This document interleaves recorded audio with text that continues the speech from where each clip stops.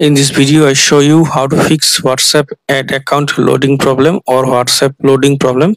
For solving this problem, go to Play Store, search for WhatsApp,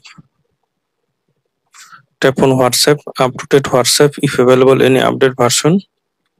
Now search for 111 VPN, install it. Now go to settings,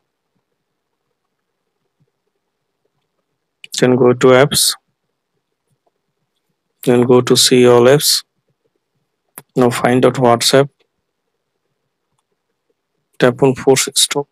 Tap on ok. Tap on storage and cache. Clear cache only. Now connect your vpn tap on next. Accept. Install vpn profile. Okay not now tap on connect now open whatsapp. Now tap on three dot.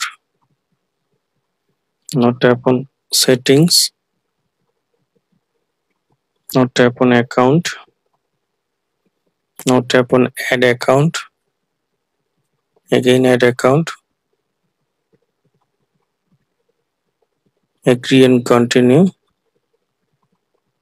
Now enter your phone number. Now i hope that this method fix whatsapp add account loading problem or whatsapp showing loading problem